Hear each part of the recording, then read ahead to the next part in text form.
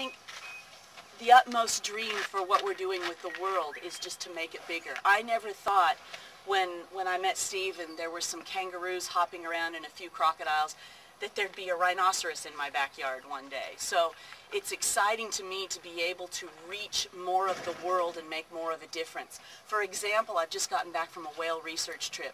There weren't as many whales, the whales weren't doing what was expected, things are changing with this global climate change that we're seeing. I'm in a hurry. I want to make as much difference as I can as quickly as possible, and I cannot do that alone. I can be the instigator, I can dedicate my life to it, but I need you to help me. You don't have to drop everything and, and hop on board the Steve Irwin with the Sea Shepherd and go chase bad guys in the open ocean.